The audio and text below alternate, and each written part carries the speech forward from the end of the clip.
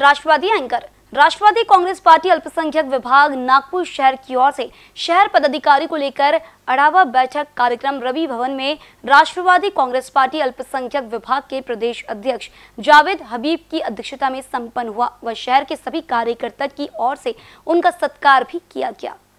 इस कार्यक्रम में प्रमुख अतिथि राकंपा शहर अध्यक्ष दुनेश्वर पेठे व जिला परिषद सदस्य सलील देशमुख, नागपुर निरीक्षक मनोज शेख आदि उपस्थित थे। व इस कार्यक्रम का आयोजन राष्ट्रवादी कांग्रेस पार्टी अल्पसंख्यक विभाग, नागपुर शहर जिला अध्यक्ष वसीम लाला ने किया। राष्ट्रवादी कांग्रेस पार्टी अल्पसंख्यक विभाग की नागपुर शहर के पूरे कार्यकर्ता और पदाधिकारियों के साथ में आज रवि भवन में आड़वा बैठक का कार्यक्रम मीटिंग के माध्यम से लिया गया, जिसकी अध्यक्षता हमारे महाराष्ट्र प्रदेश अल्पसंख्यक विभाग के अध्यक्ष माननीय जावेद हबीब साहब ने की है। और इस कार्यक्रम में प्रमुख अतिथि के रूप में हमारे नागपुर शहर के निरीक्षक मुनाज भाई शेख, हमारे पाशा भाई और असंगठित आगा, आघाड़ी के जो शहर अध्यक्ष है, जाकिर भाई शेख और झोपड़पट्टी मोर्चे के अध्यक्ष, बंटी अलेक्जेंडर ये इनके प्रमुख उपस्थिति में आज ये आड़वा बैठक ली गई है।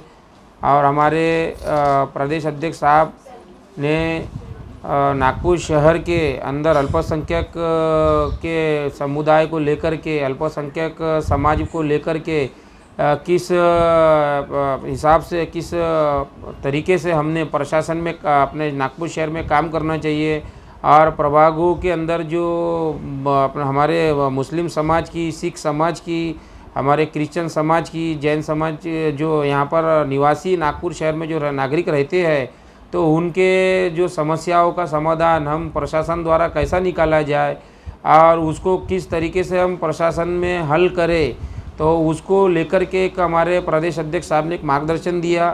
और आने वाले महानगर पालिका के चुनाव को लेकर के, हमारे एक एक कार्यकर्ताओं को एक भरोसे में लेकर के एक सुझाव दिया है कि आप आपने अपने प्रभागों में अपने अपने कामों पर ध्यान दें और संगठन को मज़बूत करें।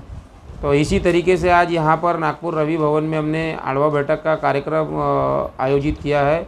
इसी के साथ में अपने शब्दों को विनम्र देता हूँ। जय राष्ट्र अल्पसंख्यक समाज की दशा और दिशा ये क्या है?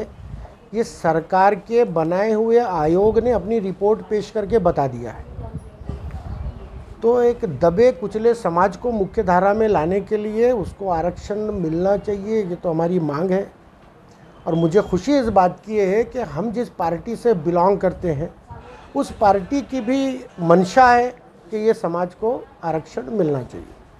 और ये समाज को आरक्षण मिलना चाहिए इस तर्ज के ऊपर में जिस वक्त हमारी सरकार थी, कांग्रेस और राष्ट्रवादी कांग्रेस की।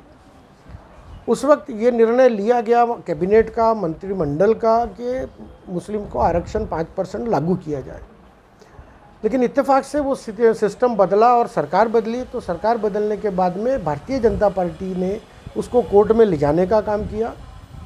और कोर्ट ने भी इत्तेफाक से हमारे फेवर में कि कम से कम एजुकेशनल रिजर्वेशन मुस्लिम समाज को चालू रखना चाहिए।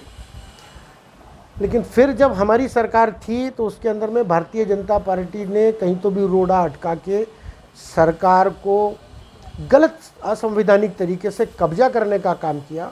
और आज ये जो सरकार बैठी है, इसकी मानसिकता में बिल्कुल नहीं है कि मुस्लिम को आरक्षण मिले। हम जब तक ये सरकार को उखाड़ फेंकेंगे नहीं तब तक समाज को आरक्षण मिलेगा नहीं, ये हमारी भूमिका है। नागपुर से बीसीएन न्यूज़ के लिए अभिषेक पानसे की रिपोर्ट।